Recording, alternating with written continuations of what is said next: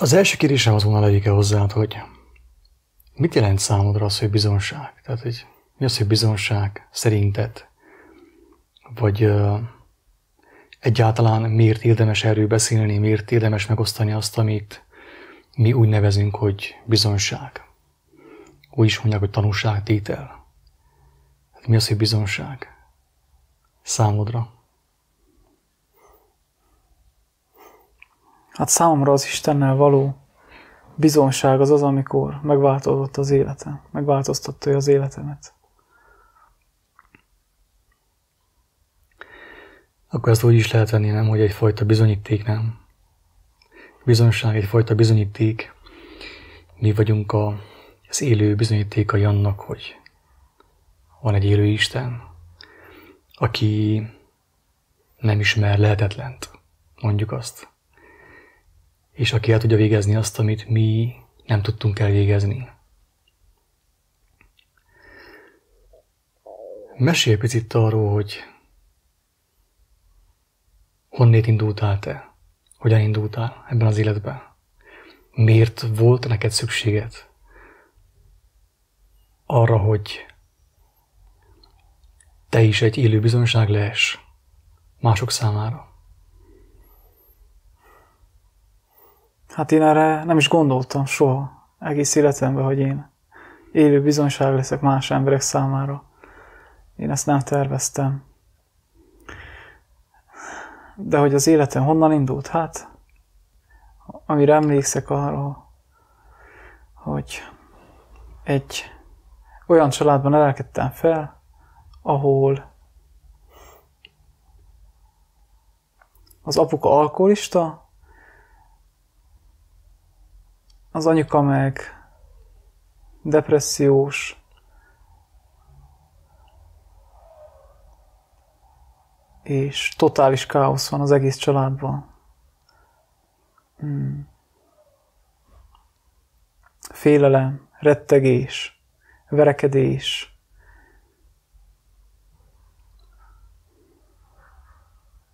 bizonytalanság, harag, gyűlölet, többnyire ezek voltak, amik a, a mi családunkban jelen voltak, és nap mint nap ismétlődtek, amikben, amikben én felnevelkedtem. Voltak jó élmények is, voltak jó pillanatok is, azokat sem. Mint mindenhol. Mint mindenhol, de azok nagyon gyorsan elmúltak. Azok ilyen áll ilyen mű dolgok voltak, nem igaziak voltak, mert nem is lehetett igazi.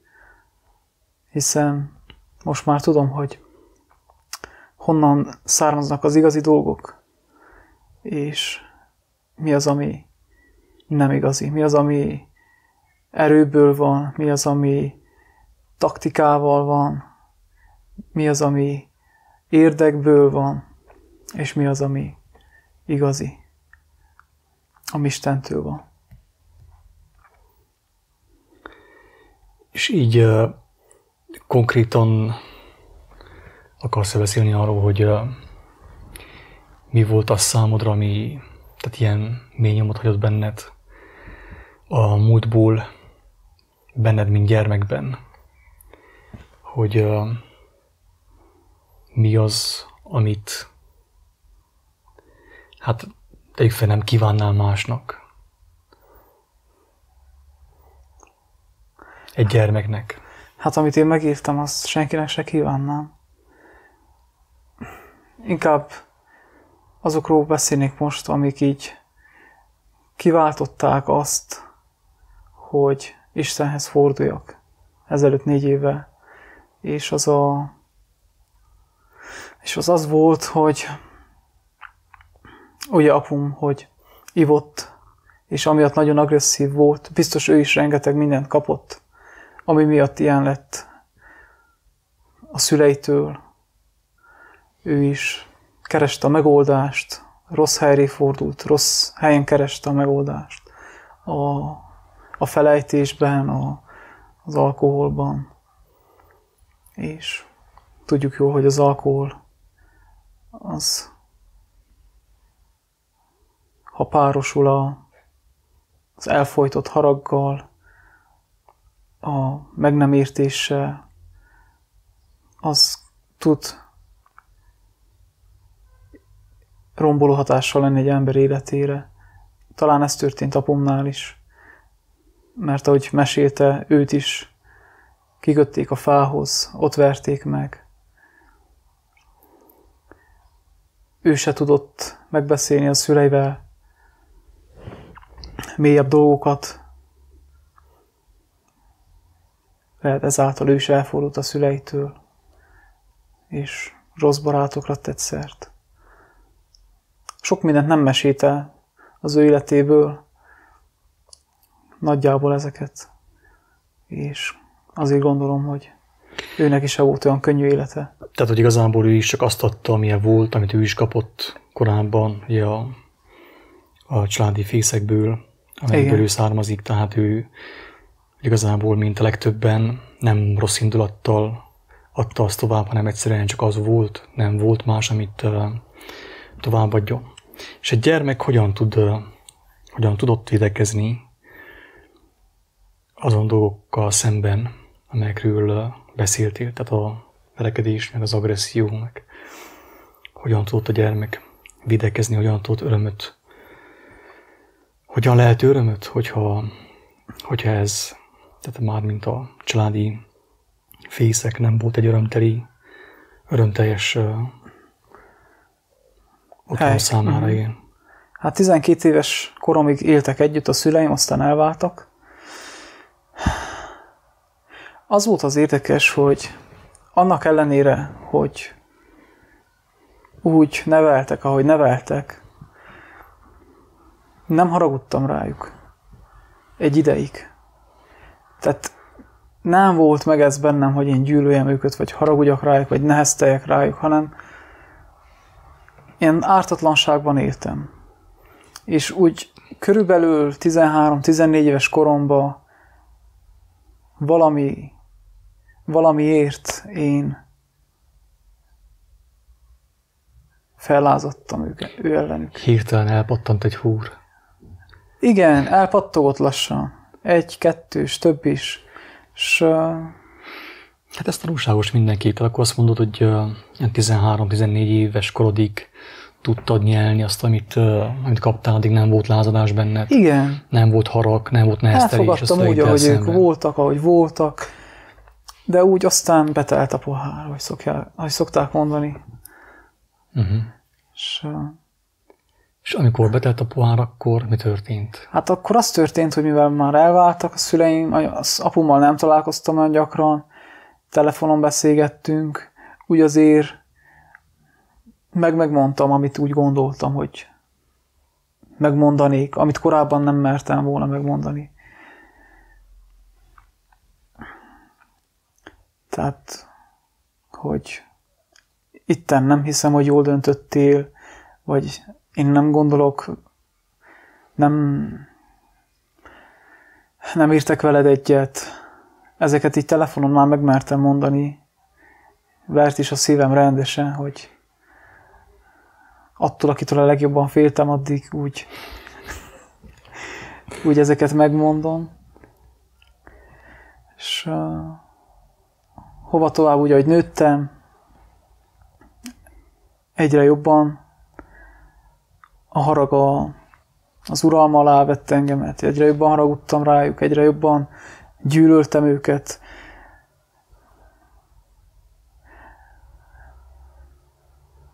És én is azzá váltam. Tehát én láttam a, a rossz példát, tudtam, hogy egy rossz példát mutatnak, de nem láttam a jó példát. Kerestem az emberekben a bölcsességet, az igazságot, de sehol se találtam meg. Mindenhol találtam egy picit, minden embernél találtam egy kicsi jót, egy kicsi bölcsességet, de minden ember elbukott a szemembe. Még én is, saját magam is. És hogyan jött rá, hogy te elbuktál a saját szemedben? Úgyhogy én is vágytam a, a minőségre, az igazi szeretetre, az igazságra.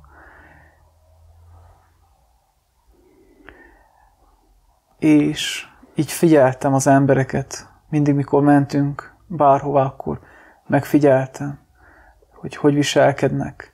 Mivel otthon nagyon sok volt a, a játék, a taktikázás, a képmutatás, nagyon érzékeny lettem ezekre. Nem hiszem, hogy egyedül vagyok ezzel, de nagyon könnyen észrevettem, hogyha valaki nem mondott igazat, hazudott, képmutatóan viselkedett, valamit. Tehát nagyon figyeltem minden apró dologra emiatt, mert otthon, amit kaptam, hogy kerestem a szeretetet embereknél, kerestem az igazságot, kerestem a bölcsességet, és mindig nagyon mélyen megfigyeltem az emberek viselkedését. De nem találtam sehol se. Végül a gyűlölet volt az, ami mellett döntöttem 22 évesen, hogy többet én se legyek képmutató, mivel én is vágytam a, az igazságra, és úgy éreztem, hogy úgy leszek igazságos, hogyha tiszta szívvel gyűlölni fogom a szüleimet. Nem csak úgy, hogy elhallgatok dolgokat, ezt elnyelem, azt nem mondom el neki, hogy ez engemet bántott, hogy az zavar, és 22 évesen eldöntöttem, hogy vége ennek. Ha már gyűlölök, akkor gyűlöljek teljes, gyűlöljek teljes szívvel, lélekkel. Amiket megéltem otthon, az csak egy párat mondani kell, hogy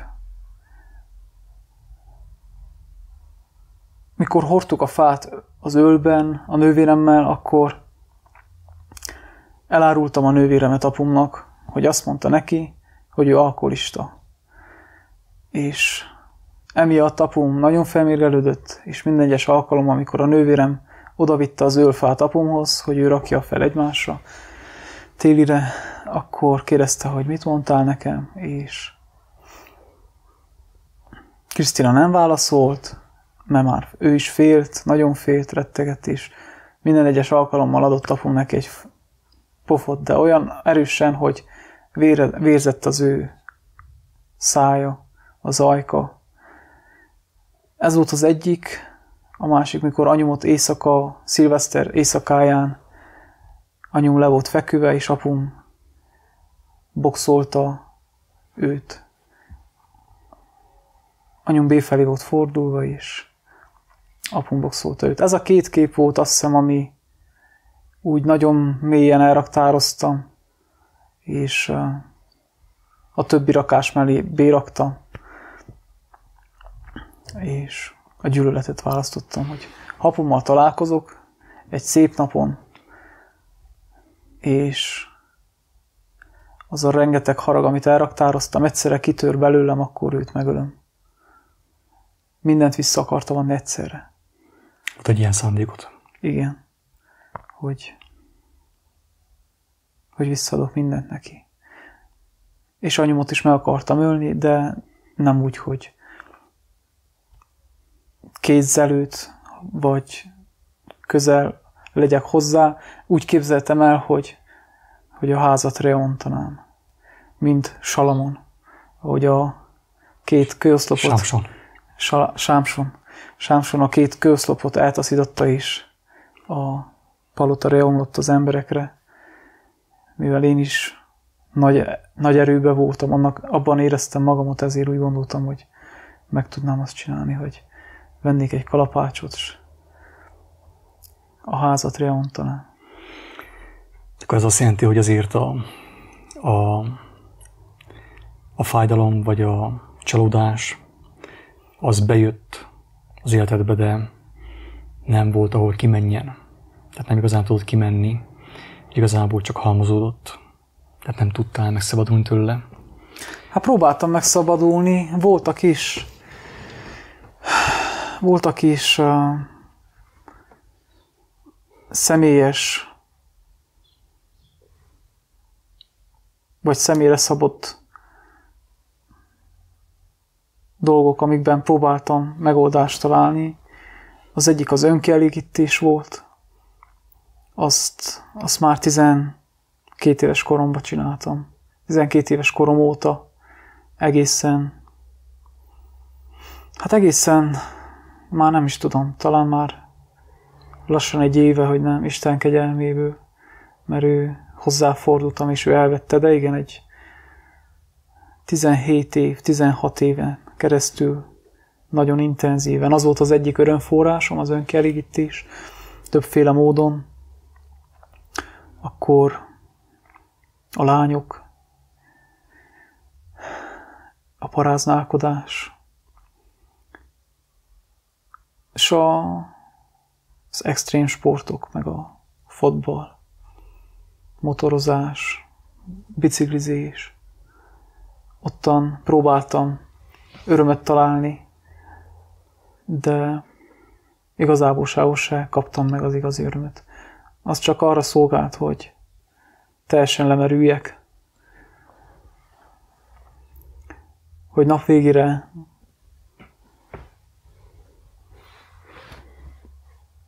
ne legyen időm és erőm se azon gondolkozni, hogy, hogy most haragudjak a szüleimre, vagy bárki másra, mert igyekeztem százszázalékosan az erőmöt minden nap kiégetni, vagy kiadni. Akkor gondolod, hogy az ilyen extrém sportoknak, meg az ilyen extrém szenvedélyeknek köze van az extrém fájdalmakhoz? Az ilyen extrém szenvedélyek, extrém fájdalmakból születhetnek egy gyermeknél? Lehet ez is, mert nálam ez volt, lehet más is. Hogy, de mindenféleképpen öröm, örömöt akarnak szerezni az emberek, elismerést, figyelmet. Ezek azok biztos. Ez, a, ez az oka. Eleinte gondolom, hogy csak hobbi szinten indul el, aztán versenyszint, aztán már pénzt csinálnak belőle, fizetés, akkor az már nem is elég, hanem kell az elismerés, a díjak, az embereknek a figyelme, az a végső, hogy az emberektől kapjanak elismerést, mert az, azt az űrt a, a, a lelkükben így próbálják betölteni ezekkel a dolgokkal. Legalábbis én így tapasztaltam. Olyan magas szinteken nem sportoltam, de azért belekóstoltam, és tényleg az elismerés az, az volt a legerősebb, hogy emberektől elismerést kaptam. Gratuláltak, ügyes vagy, csak így tovább. Meg tudtam, hogy jobb vagyok soknál, sok embernél a versengés, hogy valaki legyek, hogy értékes legyek más emberek számára. Ezzel sokan vannak így, nem csak én voltam így. Igen. Egyszer még beszélgettünk egy barátommal erről a dologról, hogy önkielégítés is. Elbeszélgettük azt is, hogy nagyon sok formája van, hogy igazából még a sport is egyfajta önkielégítés, mert az ember remél valamit tőle, örömöt, ugye, és tudjuk jó, hogy tagadhatatlan, hogy egyik legnagyobb földi öröm a, a testi öröm, a szexuális öröm. És ezért ugye az ember azt keresi leggyakrabban, leginkább. És ezért van az, hogy a legtöbb férfi, talán túlzás nélkül mondhatjuk azt, hogy 99, nem tudom hány százalék rabjává válik az önkielégítésnek. Tehát teljesen egyértelmű, hogy, hogy az a lélek, aki megszületett abba a testbe, a fiúcska testébe nem kapott örömöt, nem kapott kielégülést, viszont arra vagyunk teremtve, hogy kapjunk kielégülést. Örömre vagyunk teremtve. Örömre, így van, tehát elég tételre, ugye, hogy legyünk, legyen örömünk az életben. És ez, hogyha az ember nem kapja meg, akkor megkeresi magának hogyha nem kapja meg mondjuk azt isteni módon, akkor megkeres magának emberi módon. És érdekes az így elgondolkodok közben, ahogy beszéltél, azon, hogy ha nem kapjuk meg isteni módon az örömöt, akkor emberi módon úgy szerezzük meg, hogy valaki mástól elvesszük, hogy igazából. Mert ahhoz, hogy nekem örömöm legyen, testi, testileg, nekem jó az, hogyha téged le tudok győzni, akár fociban, akár versenyfutásban, akár a, a nőcsábászatban, Tudásban. tudásban, és így tovább. És így jön a versengés. Igen, tehát az öröm, amit én kaptam, az gyakorlatilag uh, valamilyen mértékig tőled loptam el. Neked kellett legyen bánatod abból, ahhoz nekem örömöm legyen. Ugye? Mert amikor az ember veszít, akkor nem van túl vidám. Főképp, hogyha ő is koldus, érzelmi koldus. És ugye ez történik Hollywoodban, az egész világban, hogy az örömököt a tudatlan ember és ezt most úgy írtam, hogy istentelen ember más embertársai örömének a rovására szerzi. Tehát, hogy nekem örömöm lehessen, valakit én meg kell rövidítsek.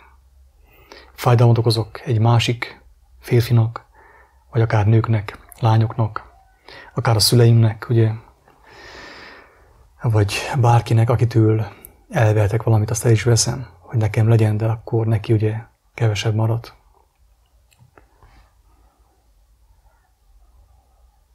És ezáltal emberfüggő vagyok, mert kell nekem tőlük a, az elismerés, és csak ott tudom kiélni azt, hogy valaki vagyok ezekkel a módokkal, amit az előbb felsoroltál, hogy vagy valakivel szemben meg tudom mutatni, hogy jobb vagyok, vagy egy lányt el tudok csábítani, hogy megkapjam azt a testi örömet. Azáltal teljesen az emberektől függővé válok.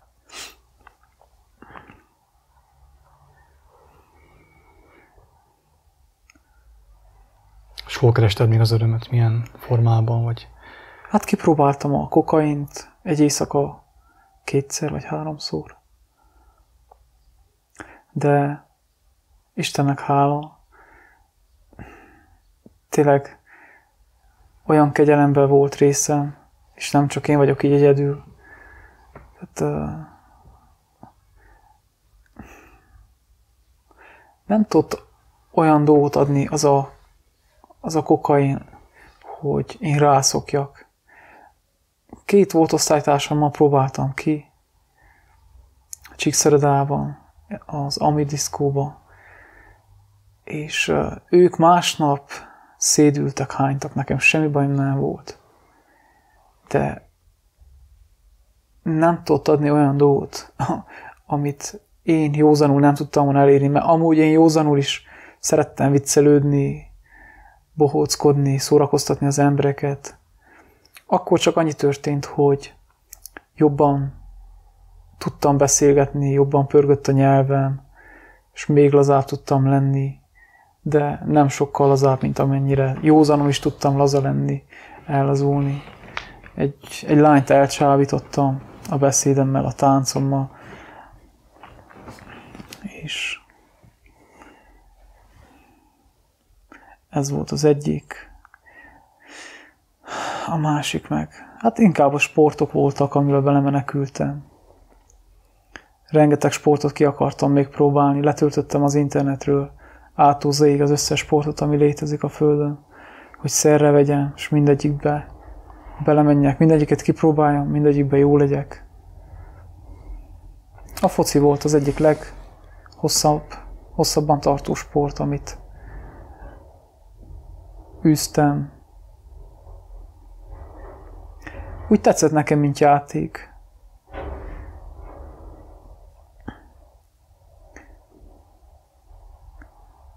De az volt az enyém a menekülés, ahol a az én lelki fájdalomot ott leraktam. Ott kikapcsoltam az agyamat, ahogy szokták mondani, és száz százalékot beleadtam.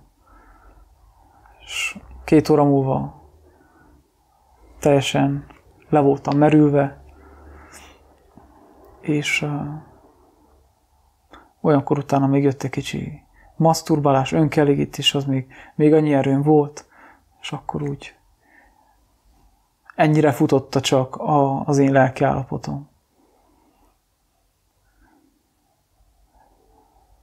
Tanulni se volt erőm, nem is voltam sose jó tanuló, mindig egy közepes csak. Ilyen önpusztító életet éltem.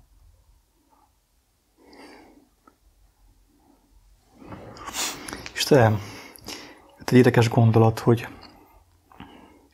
most, hogyha például egy uh, személy azért lesz sikeres a fotballban, vagy más sportban, mert ő is egy űrt próbált azzal betölteni, és az emberek őt megdicsérik és felmelik őt, akkor valójában mi történik, amikor az emberek megdicsérik őt is, elismerik őt meg, körül rajongják őt, Hát benne tartják ebbe a hamis illúzióba. Hamis.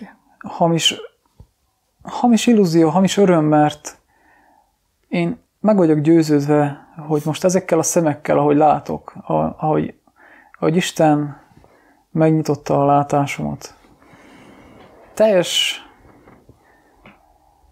hiába valóságnak látom ezt a, az egész versengést, a sport, meg bármi körül hiába valóság.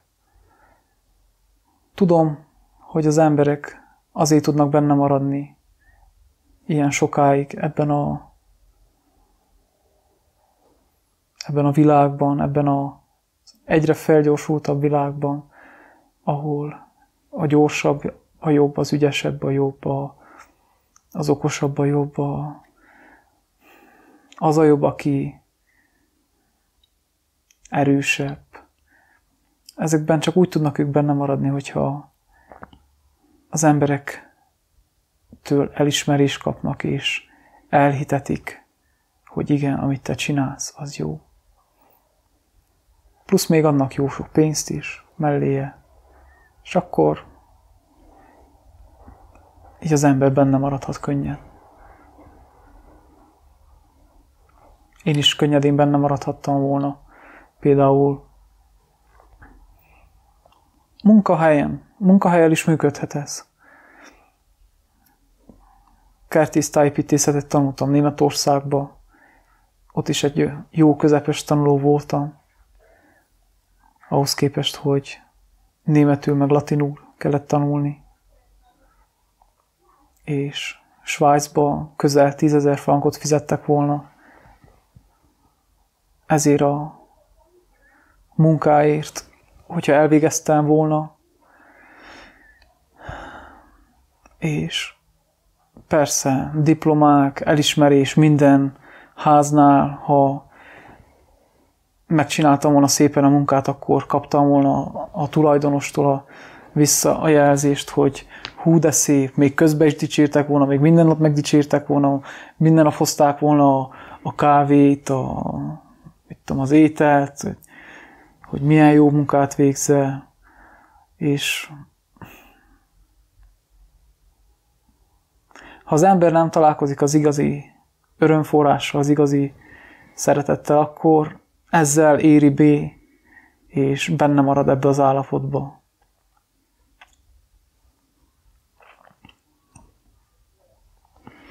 Az embertársai látjaival, segítségével. Így, így van, az embertársai segítségével. Igen. Tehát akkor elképzelhető nagyon sok ilyen sztár, meg ilyen ünnepelt, hát ugye csillag, gyakorlatilag egy ilyen hamis örömöt szerez magának nap, mint nap az, ember, az emberektől, akik őt körül rajongják. Meg Mert hisz tudjuk jól, hogy, a, hogy az az öröm, amit kapunk embertársainktól, azt tulajdonképpen az ő figyelmükből jön.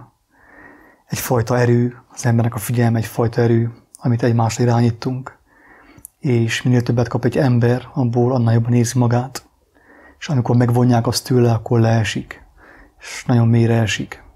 Ugye? Tehát azt jelenti, hogy, hogy az ő öröme eléggé földi, emberektől származik. Manapság már tényleg oda vagyunk kerülve, hogy az emberek már nem tudnak csendbe maradni. Rettegnek a csendtől, mert akkor oda kerülnek a én, hogy talán Istenhez kell ólítsanak segítségért. Pedig milyen jó lenne, hogyha az emberek csendbe tudnának maradni egy kicsi ideig, hogy, hogy a, az, ami van a lelkünkben, az igazán a felszínre tudjon jönni, és Jézus Krisztushoz orrítani, hogy én is tettem, és akkor... Hát mondjuk akkor te még nem hozzá kiáltottál, hogyha jól értettem én. Én Istenhez. Mert nem tudtad, hogy... De én akkor abban a pillanatban mondhattam volna azt, hogy Jézus, vagy Isten, vagy csak annyit mondhattam volna, hogy segítség. Vagy ennyi is elég lett volna, mert Isten a szíveket vizsgálja, és én elérkeztem az a ponthoz, hogy ő látta, hogy a szívemben készen állok egy új életet kezdeni. De igen, Istenhez ólítottam. Ezelőtt négy évvel lassan, körülbelül. Nem emlékszek pontosan arra napra, hogy melyik nap volt a dátumot. Azt tudom, hogy este volt. És Németországban voltam.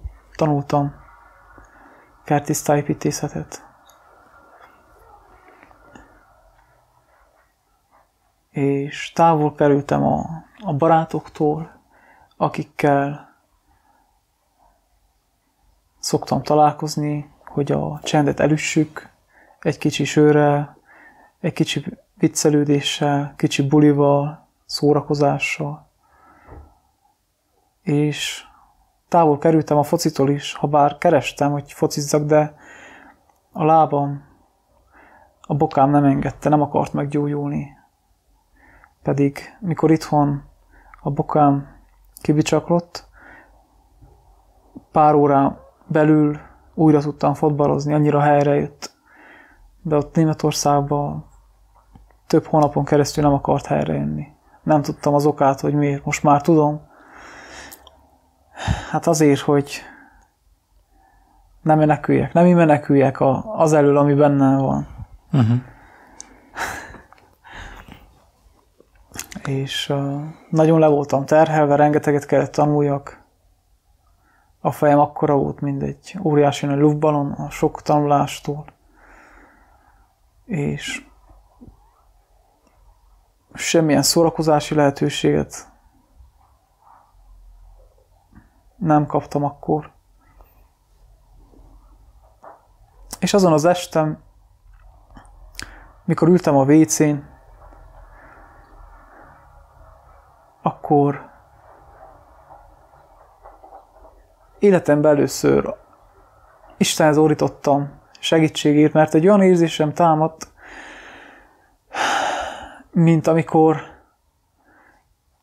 így az epe kihasad, és így elönti a, az egész mindenséget, az egész testemet elöntötte, az, ami kihasadt talán akkor bennem.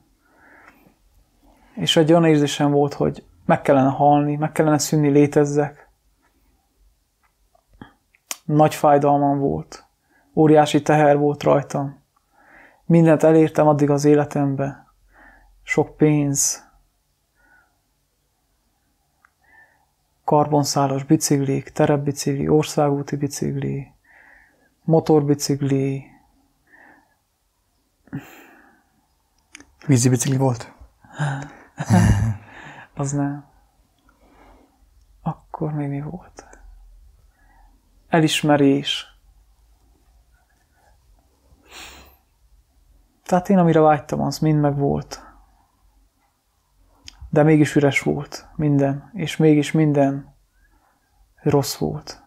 Mindent megkaptam, amit akartam, és semmit se, semmi se használt, semmi se volt tartós, maradandó, minden, amit megkaptam, úgy egy darabig oké okay volt, jó volt, és örömet adott, de úgy el is múlt. A motorbicikli is.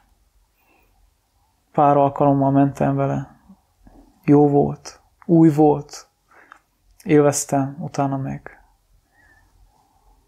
elmúlt az az öröm, utána már csak teher volt. És ezzel mindig, mindennel így voltam.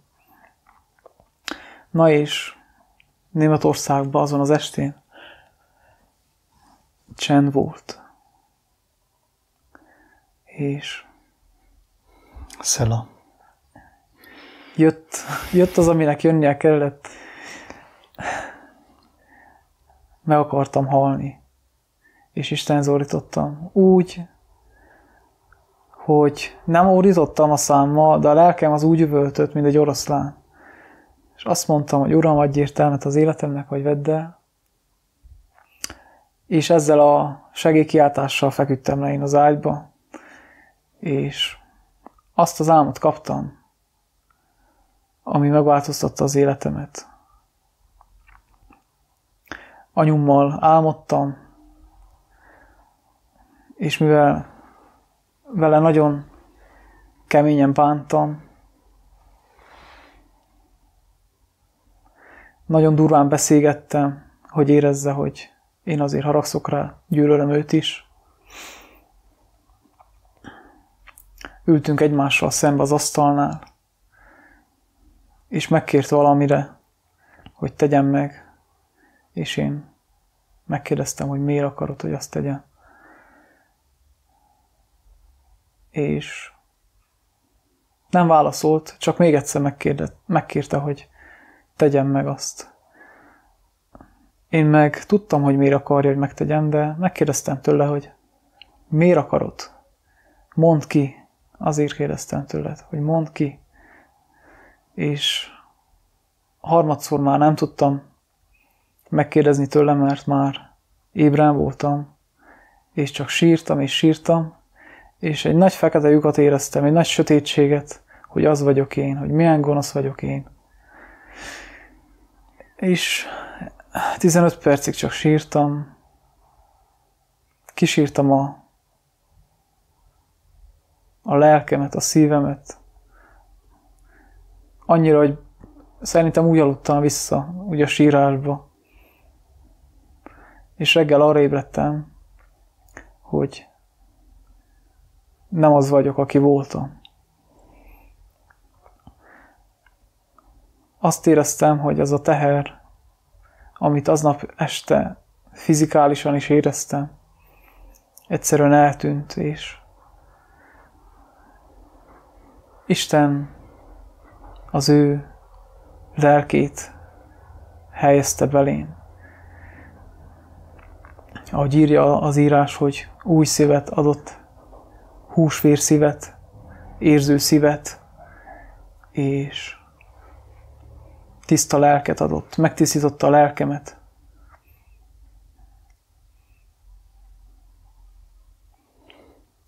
És onnantól kezdődött a szerelem, az irányváltás.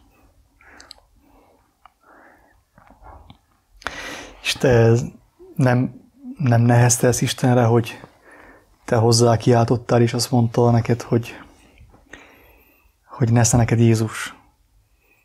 Tehát, hogy te hozzászóltál, és ő, őt adta neked.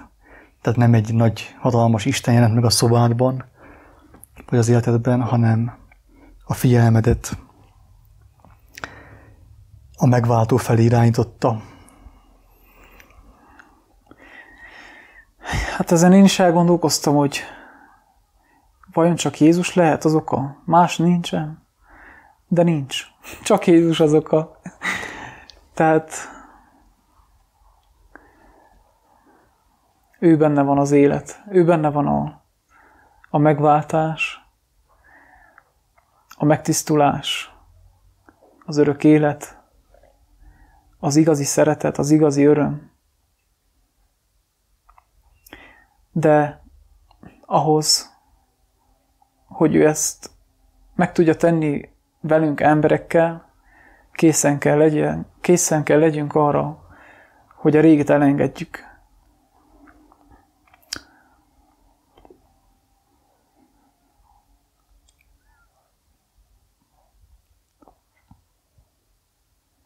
Akkor tényleg nem értettem, hogy mi történt velem,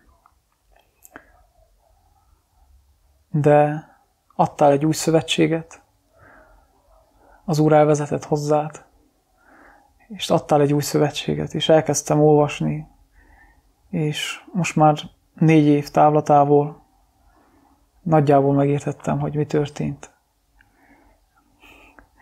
Hogy, hogy az életnek az értelme maga Jézus Krisztus. Eddig ez takarva volt 26 évig az életemben, ez, ezt homály fette, lepel fette. Én azt gondoltam, hogy az élet értelme az, hogy, hogy itt a Földön az ember gazdag legyen, sikeres legyen, jól érezze magát a, a, a világi dolgokkal, de sose tudtam, és nem tudtam felfogni olyan mélyen, ahogy most, hogy Isten minket örök életre teremtett. Hogy ő vele éljünk, csak itt a földi életben, amíg itt élünk, addig kell válasszunk a jó és a rossz között. Jézus Krisztus tanításai között és a világi tanítások között. Ezen sokat gondolkoztam, hogy miért van ez így. Aztán megértettem az Ószövetségből, hogy, hogy elbuktunk engedetlenségből, engedetlenség miatt, és kegyelemből vagyunk itt a Földön rövid ideig, hogy hitből megkaphassuk az örök életet. Hogy a hitetlenség által bejött az örök halál, hogy hitből megkaphassuk az örök életet. És ez az élet értelme, hogy az ember megtudja, hogy mi a rossz és mi a jó, hogy döntsön a jó mellett, Jézus Krisztus mellett, és ő benne értelmet nyer az élet. És hogyha valaki azt mondja neked, hogy, hogy lehet, hogy neked Jézus is, nekem Krishna, vagy valaki más, uh-huh. akkor te mit mondasz erre? Miből vagy olyan biztos, hogy, hogy Jézus nem csupán egy név, és lehetne helyette egy másik név is? Hát a Youtube-on nézek pásztorokat, akik evangelizálnak, hirdetik a mennyek országának a, az igazságait, az élet igazságait, az örök élet igazságait is. Ők úgy mondják, hogy a Biblia Istenében hiszek én. Én most már nem csak, hogy a Biblia Istenében hiszek, hogy a Bibliát um, Isten lelkében újjászületett emberek írták, Isten által ihletett emberek írták, hanem erről bizonyságot tett a Szentlélek is a testvérünknek a nemrég, hogy ő ugyanazokat tanította, ami le van írva. Számomra ez is egy nagyon fontos bizonyság volt. És a magyarázatokat én onnan kaptam meg a, a tanításokat, hogy eljön az idő majd, amikor minden tért meghajlik az ő nevelőt. A mennyben, a földön és a föld alatt. És ez nekem elég volt bizonyítéknak, hogy ő az Úr, az Urak Ura, a királyok királya,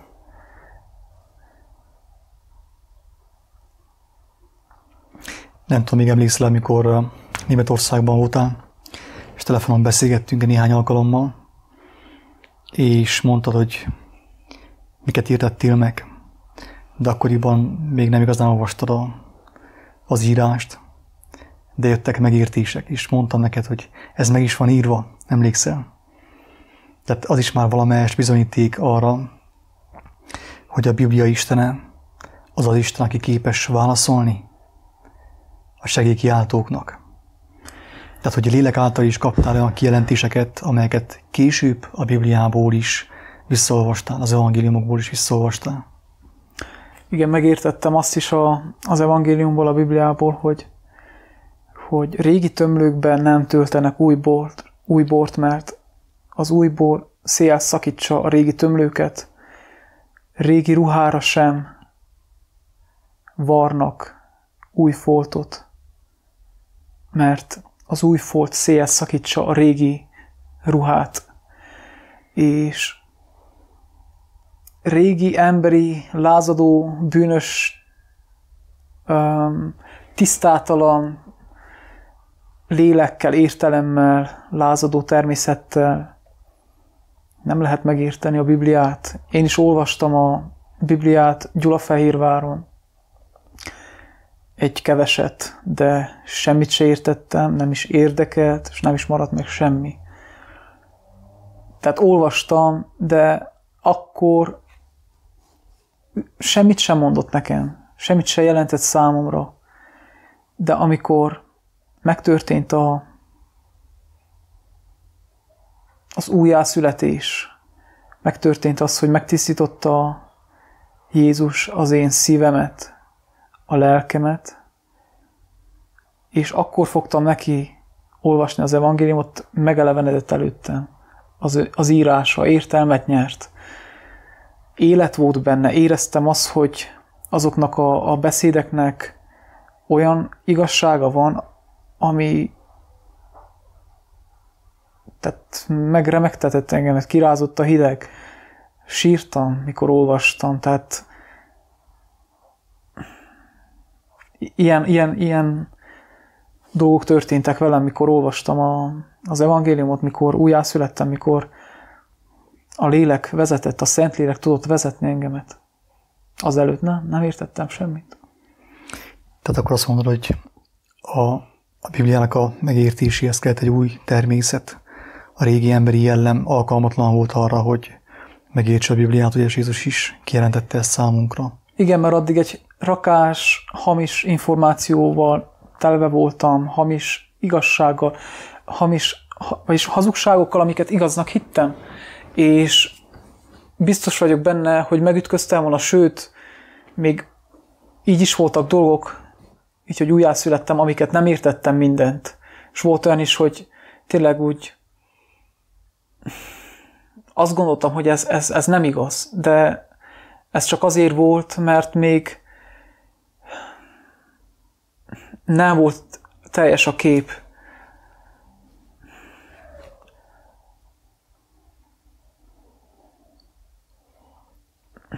Nem volt annyi bölcsességem, nem volt annyi alázatom, tehát óriási dolgot tett velem Isten azon az egy éjszakán, és hiszem, hogy azelőtt is sok mindentől megóvott, és azóta is sok mindentől megóv, de ő nem varázsló, hogy egyik percről a másikra teljes mértékben átváltoztasson, mert a régi természetem azért még elé, elé jött, még ő is akart ott hadakozni, de szükséges az újjászületés, hogy az ember egyáltalán ezen az úton neki ezen az úton elinduljon, elindulni tudjon úgy, hogy ő képes legyen mindent hátrahagyni, és meglátni ebben a, ezekben az igékben az életet és azóta is dolgozik az Isten folyamatosan rajtam. Most se vagyok megérkezve, de most már sokkal tisztában látom és értem, amiről Jézus beszélgetett, az életnek az értelmét, az ő igének a, a mélységeit, az Isten mélységeit. Most már nem is tudnék felhozni példát, hogy hol ütköztem meg, melyik igékben, de arra beszélgetés emlékszem veled, hogy voltak dolgok, amiket nem értettem. Nem támadtam meg végül is, csak úgy tovább léptem, mert mondom, hogy ez még nekem magas, ezt nem értem.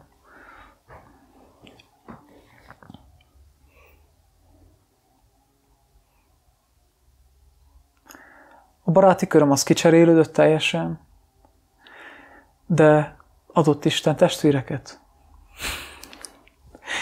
elvette a világi barátokat, mert hát én is világi voltam, és csak világi barátaim lehettek, mert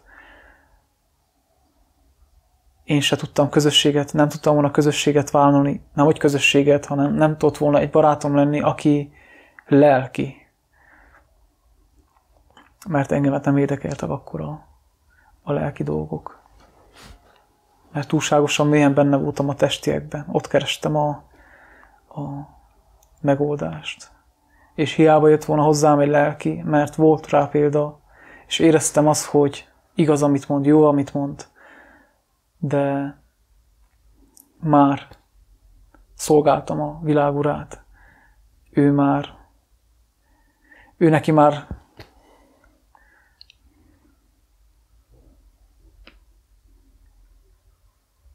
tartoztam, szolgáltam, le voltam kötelezve.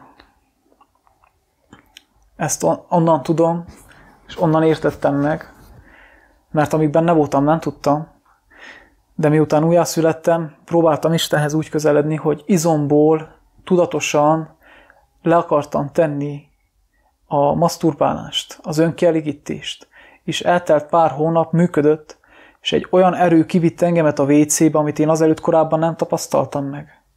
Tehát egyszerűen, mint a kirántott volna a, a engemet egy, egy, egy külső erő a WC-be, és mintha nem lett volna más választásom, csak hogy önkielegítés végezzek el magamon. De amikor Jézus Krisztushoz fordultam, és azt mondtam, Uram, én szeretlek tégedet, nem azért, mert én tudok is szeretni, tudok szeretni önmagamtól, hanem mert megtapasztaltam a te igazi szeretetet. Én tudom, hogy szeretlek, te is szeretsz engemet. Én felvállalok tégedet az embertársaim előtt, de én ezt nem tudom letenni. És kérlek segíts. És akkor ő elvette azt is tőle. Ő adta az erőt hozzá. De az nem működött, hogy lemente, leteszi azért, mert én képes vagyok rá. Nem. Én már itt értettem meg, hogy aki testi, az a sátánnak a szolgája. Akarva, akaratlanul. Ahogy Pálapostól is írja, hogy az elmémben tudom, mi a jó, de a tagjaim mégis a rosszat akarják cselekedni. Pont ezt megtapasztaltam. Ezért kell az ember teljesen újjászülessen Szentlélek által és Jézus Krisztus tanításai, igé által, amiben örök élet van, hogy azáltal, így felfegyverkezve meg tudja a régit feszíteni, a régi emberi természetét. Így értem azt, hogy Isten nem varázsló, ő egy óriási dolgot tett azon az éjszakán, és azóta is cselekszik, de apránként tűntek el ezek a dolgok az életemből, úgy, ahogy, az, ahogy jobban megismertem az evangéliumot is, tudtam, és tudom, hogy minden dologgal Jézushoz fordulhatok, minden erő, apró erőtlenségemmel, és kell is, mert ő arra vár, hogy hozzáforduljunk és segítsen.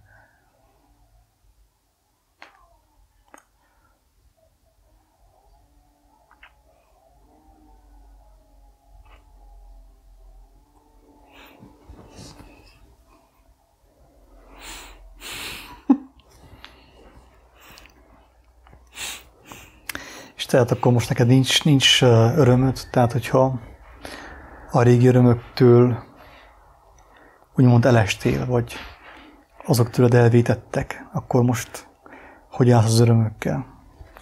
Vannak örömeid is? Milyen örömeid vannak egyáltalán? Hát,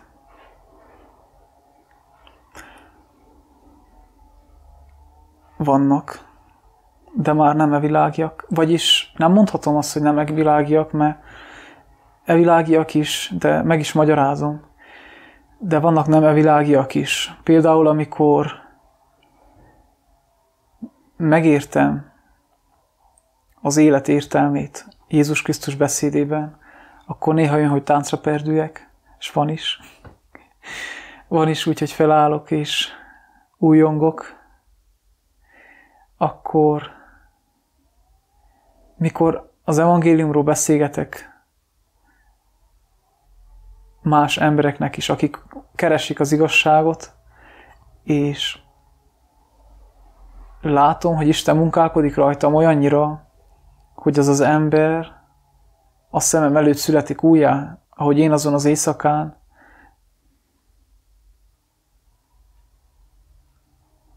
az is felemelő érzés.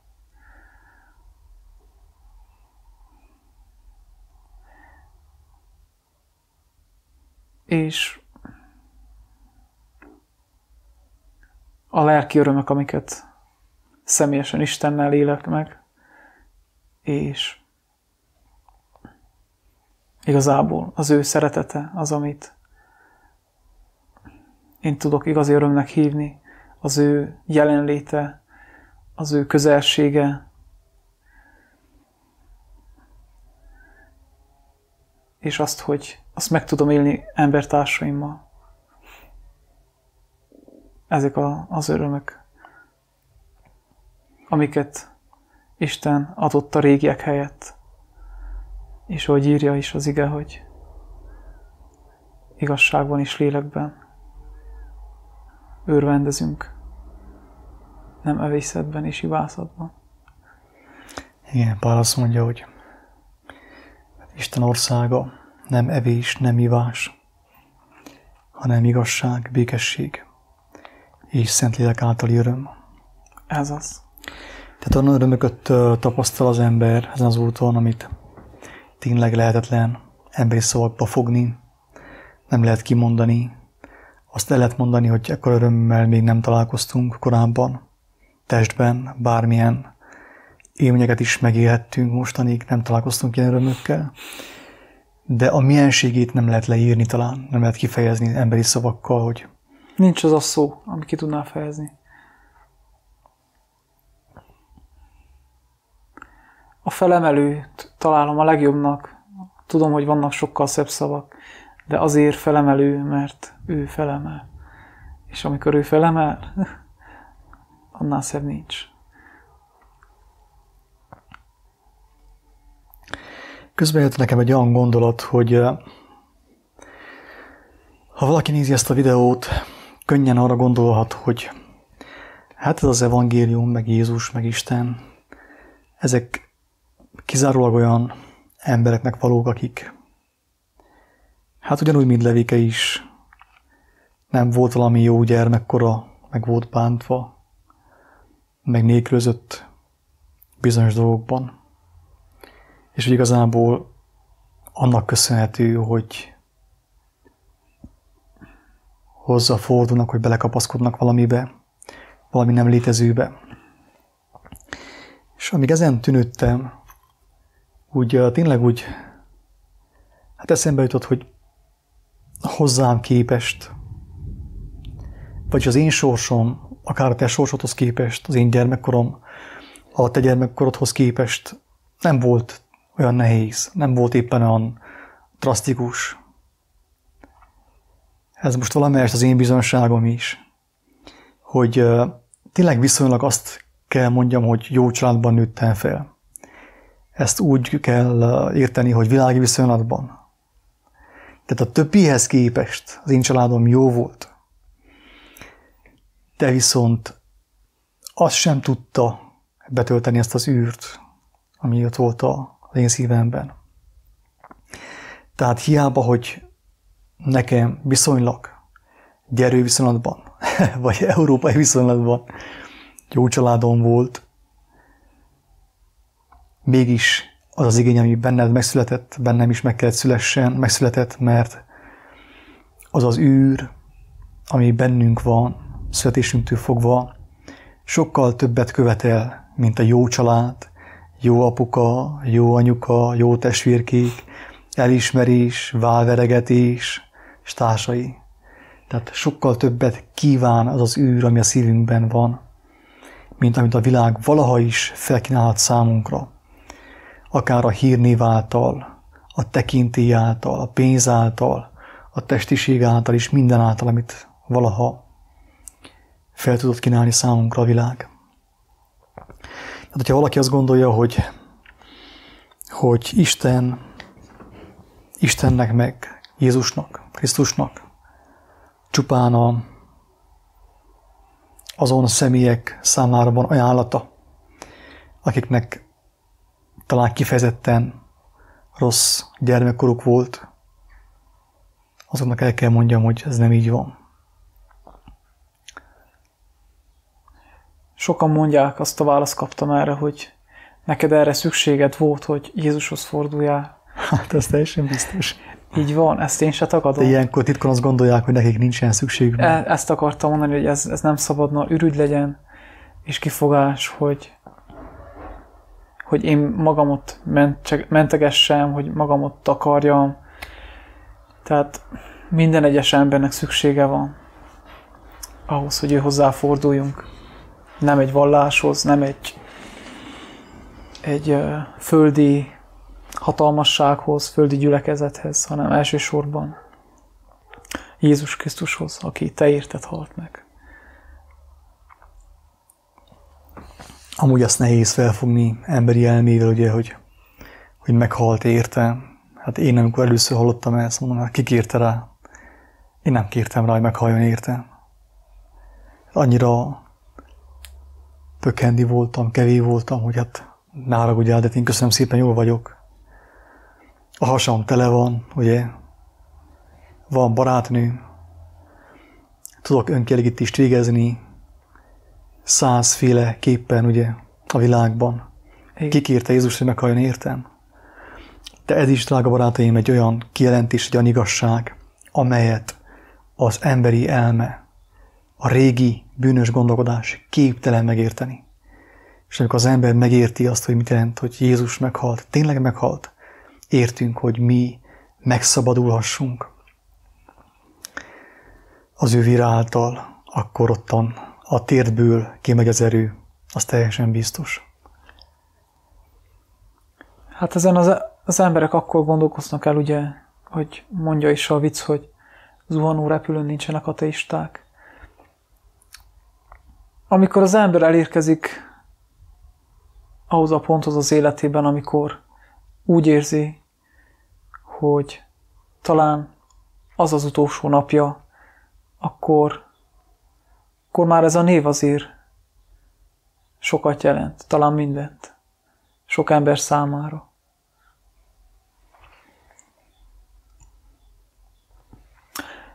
Nem is csoda, hiszen meg van írva, hogy Jézus Krisztus által teremtette Isten a világot, és mindent, ami benne van. Ő általa lett teremtve minden, még mi is. És nem lehet kikerülni őt. Ha valaki azt gondolja, hogy nekem nincs szükségem rá, én elfogadom azt is, de viszont nem lehet őt kikerülni, mert Isten, ő általa teremtett mindent, ő benne, és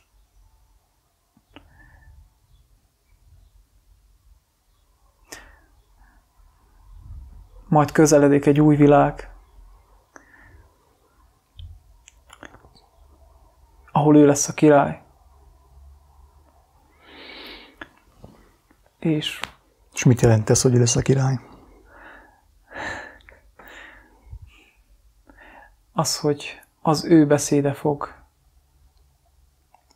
abban az országban, abban a mennyországban uralkodni az ő kijelentései szerint fog működni az egész rendszer, az így egész van, világ. Van. Ezért mondta azt, hogy a, és oda a már föld és az ég elmúlik, de az én beszédem soha el nem múlik.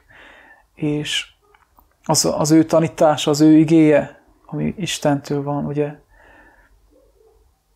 az örökké lesz. Öröktől volt, és örökké lesz.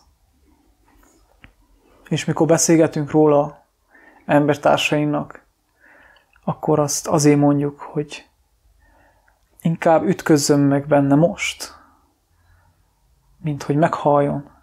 És sose... A hamisság hazugságában bűnében. Van, így van, mert minden ember újjá kell szülessen az ő igéje, az ő lelke által, máskülönben nem lehetséges az, hogy örök élete legyen, nem, vihet, nem vihessük be a szennyet, a mocskot, a bűnt a tökéletességbe. És ez ingyen van, csak annyira, annyira van szükség hogy egy töredelmes, őszinte kiáltás, egy töredelmes szív, egy őszinte kiáltás hozzá a belső szobában, és az élet az embernek megváltozik. Azért mondom el ezeket a bizonyságokat, mert ez a legértékesebb bizonyság, ami velem történt. És hiszem azt, hogy emberek, hogyha hallják ezt, talán őket is majd elgondolkoztatja, kérdéseket mernek feltenni, és bízom benne, hogy személyesen majd Jézushoz is mernek fordulni. Mert érdemes. Levike, miért volt neked motorbalesetet? Azért volt motorbalesetem, így utólag megértettem, mert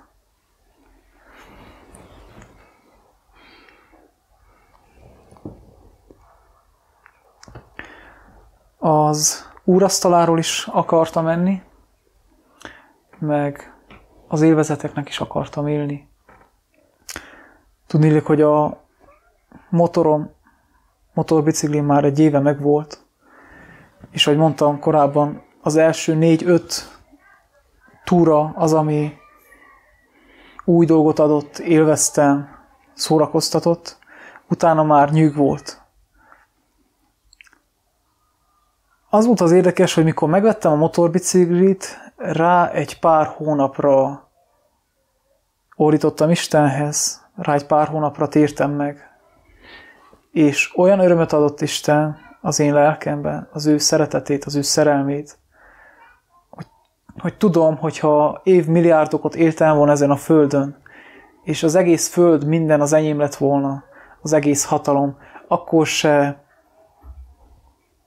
éreztem volna, és akkor sem kaptam volna meg azt a lelki békét, amit megkaptam akkor, és azóta megvan nekem. Mégsem akartam a motorbiciklit elengedni, holott már nyűg volt számomra. Azt mondtam, hogy azt a motorbiciklit soha el nem adom. Ezt kijelentettem magamban. Annak ellenére, hogy nyűg volt számomra. A karbantartás, a lánc, már nem esett jól menni se vele. És Isten kegyelmes, és elvette tőlem. Németországban ugyan. Egy ismeretlen útszakaszon mentem, és egy 90 fokos kanyart 110 km órás sebességgel egyenesen sikerült bévegyek. Neki csapottam a palánknak, a motor minden idomja talán csak a plexit az, ami nem sérült. Totál káros lett. És én megúsztam egy lábszárcsont, nem is tudom, milyen csontnak hívják. Lábszárcsont? Lábszárcsont, töréssel is. Sípcsont is lehet. Az nem. Részleges izomszakadásokkal. És én voltam az első motoros, aki abban a kanyarban elesett, és túlélte ezt. A kórházban tudtam meg a főnök, főnöknömtől. Neki is a rendőrök mesélték el. Úgyhogy elgondolkoztam. Persze jött a régi természet, kerestem már a motorbicikliket az interneten, már gondolkoztam, hogy új, új, új motorot veszek, mert el kellett teljen egy bizonyos idő, kellett imádkozzak, és az Úr kijelentette számomra, és megértettem, hogy az azért kellett megtörténjen, mert a motrot én nem akartam letenni, és Isten egy más utat szán, akar nekem szánni, egy sokkal értékesebb utat. És más örömöket. És más örömöket. Most már tudom, hogy az a, az élet értelme, amíg itt a Földön vagyunk, hogy embereknek világosság legyünk, hogy elvigyük az örömhírt, az örömüzenetet, hogy Jézus Krisztusban van szabadulás. A földi létnek ez az értelme. Aztán, amikor meghalunk, hazaköltözünk, én úgy mondom, hazaköltözök, akkor más lesz a, a program. De amíg itt vagyunk, ez az Isten akarata. És én ezt úgymond megkaptam a, a megváltást, de nem akartam Istenhez fordulni. Mentem tovább, mint a tíz leprásból a kilenc. És hogyha én akkor azon az úton megyek tovább, és nem fordulok Istenhez, nem veszem a Bibliát a kezembe, és nem olvasom, tanulmányozom, akkor tudom, meg vagyok győződve, hogy sokkal rosszabb állapotba kerültem volna, mint mielőtt én Istenhez fordultam volna. És az is egy olyan állapot volt, amit pokoli állapotnak tudok nevezni. És úgy írja az evangélium, hogy Jézus kitakarítsa azt a házat, megbocsássa a bűneit az embernek.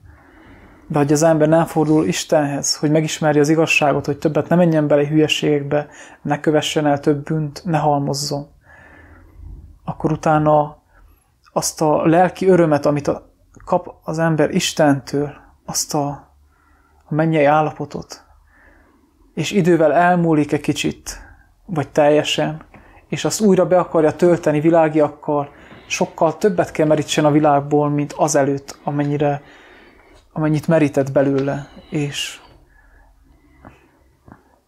minden Isten kegyelme, ez a motorbaleset is.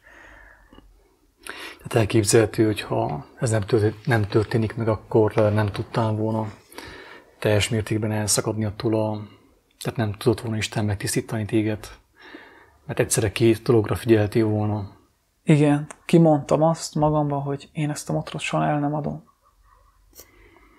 Tehát, igazából nem is a motor volt a probléma, hanem a motorhoz való viszonyulásod. Így van, nem a motor volt a probléma, csak ne. az, hogy én kötöttem a motorbiciklihez. Értem. De az lehetett volna akár egy bicikli is, egy telefon is, bármi, egy karrier, bármi más, egy ami, ami elveszi az én figyelmemet az evangéliumról, a Krisztusról, és nem tölti be azt a kitisztított házat az ő beszédével, az ő igéjével, amiben örök élet van.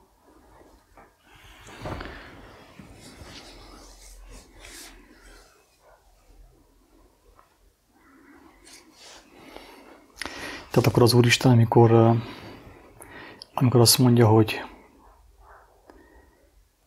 megválaszolja a kérésünket, mi szerint ad értelmet az életünknek, akkor tényleg azt szeretné, hogy ráfigyeljünk akkor, bízunk benne, mert vannak olyan örömök, amiket tartogat számunkra, amelyekről mi nem is álmodtunk korábban.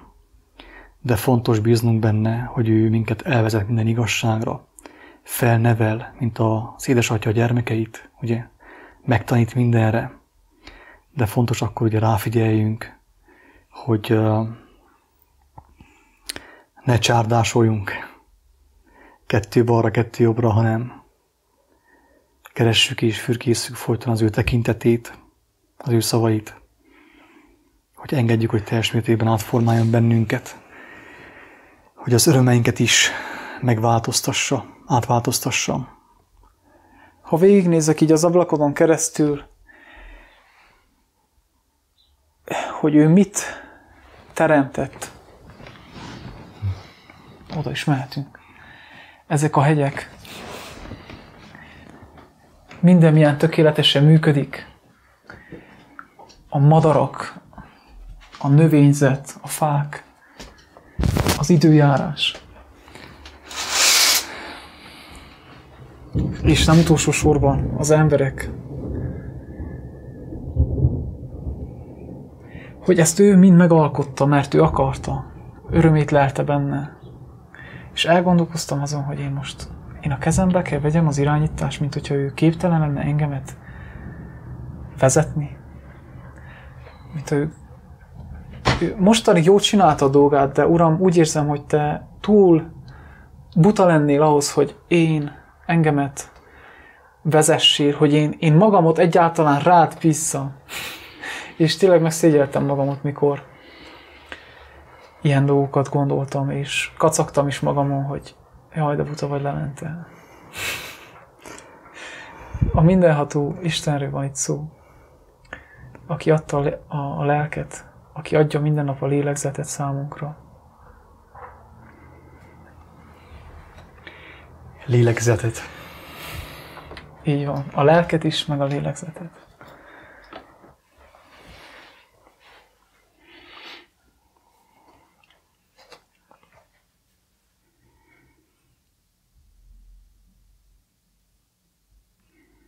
Mit tudsz javasolni egy olyan személy számára, aki hasonló cipőben járt, mint te, és nem telt meg az ő háza, úgy érzi, hogy még mindig békétlen.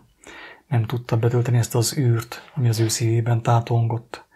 Sőt, lehet, hogy már azt tapasztalja, hogy az űr zűré lett az ő életében. Mit tudsz javasolni?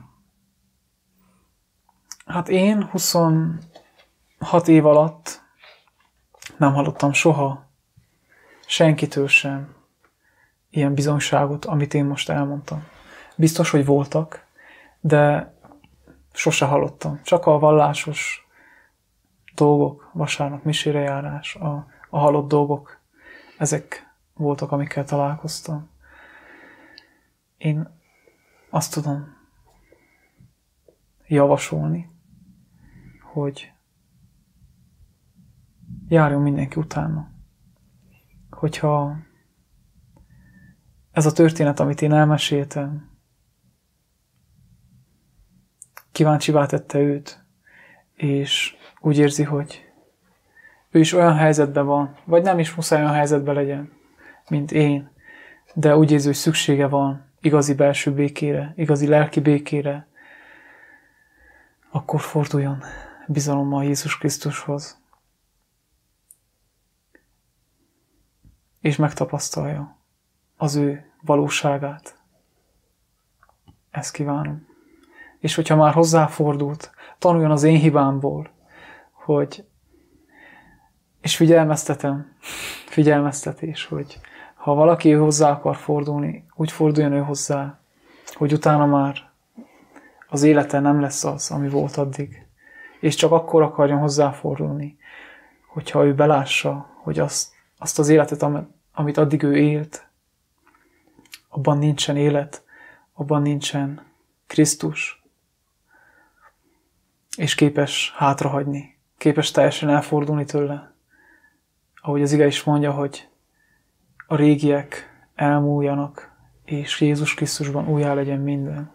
Csak ekkor, csak ekkor van értelme igazán Jézus Krisztushoz fordulni. Azért csak, hogy ő adjon lelki békét, és én tovább menjek a világi dolgokban, tovább éljem a világi dolgokat, ami a halálba vezet, nincs értelme. Mert akkor még inkább csak halmozni fogunk. De megéri mindennek hátat fordítani.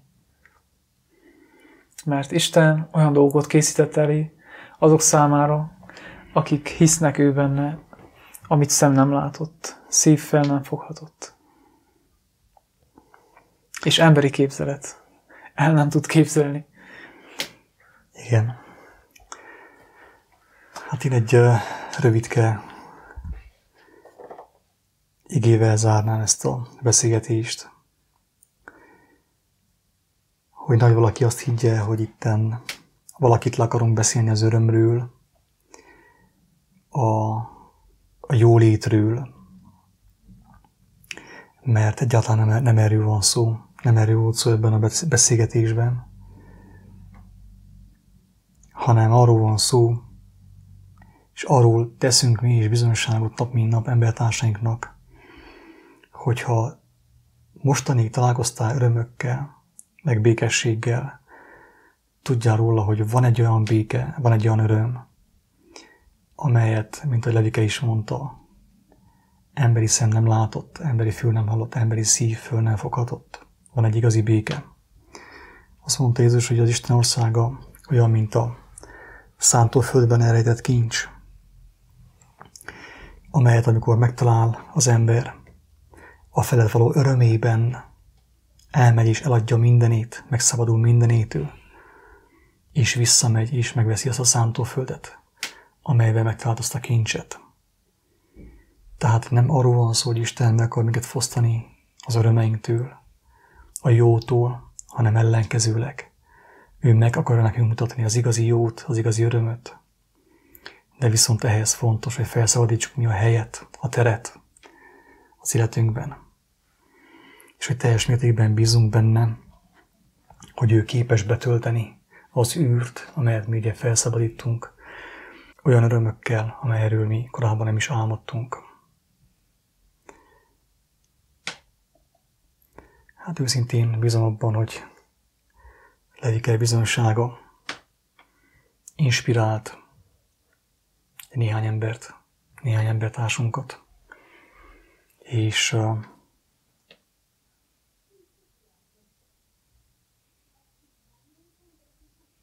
valaki lehet, hogy éppen te fog érezni készítést arra, hogy megnézze, utána járjon, hogy amiről Levike beszélt, az igaz-e, vagy sem. Isten áldja mindenkit, sziasztok!